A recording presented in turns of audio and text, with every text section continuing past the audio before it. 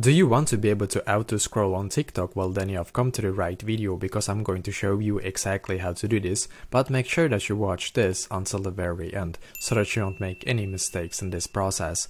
So the first thing I'm going to do is to come to my TikTok app as you can see and the next step is going to be to actually go into our For You page. So just click on home in the bottom left corner and now you just need to click and hold on that video. And if you do get like an option in here where it says basically like um, to scroll then just click on it. If you don't have this option then what I'm going to do is to actually go back to my profile right here again. So if you don't have the auto scroll option then keep watching because what I need to do now is to come back to my TikTok profile and then click on the three lines in the top right corner.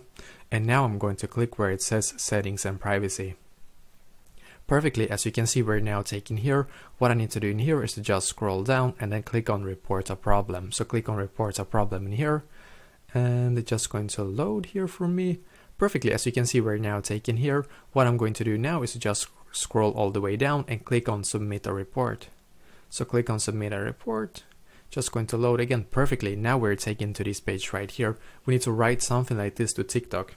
I am missing the auto scroll feature on my account. Please fix this. You can write something like this. You can even write your TikTok username if you want to in here as well. And now when you're done, just click on submit. It takes about 3 to 5 business days for TikTok to actually see this and basically be able to fix this for you. And hopefully after you have actually like uh, reported this problem to TikTok, then after that hopefully this will be solved for you. And also what you can try to do is to actually go into the App Store if you have an iPhone or Google Play Store if you have an Android phone and then just search for TikTok and see like if you have an update button on the TikTok app. Because if it says like update then that means that you actually don't have the latest TikTok version installed on your mobile. So just click on update wait for the like TikTok app to update and then go back and see if you now have this option.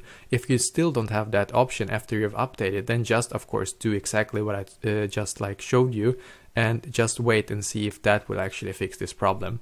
So let me know in the comments below if you have any questions and I will do my very best to try to help you. And also please leave a like on this video and subscribe to my channel because I'm doing a lot of helpful videos constantly that might be very useful to you.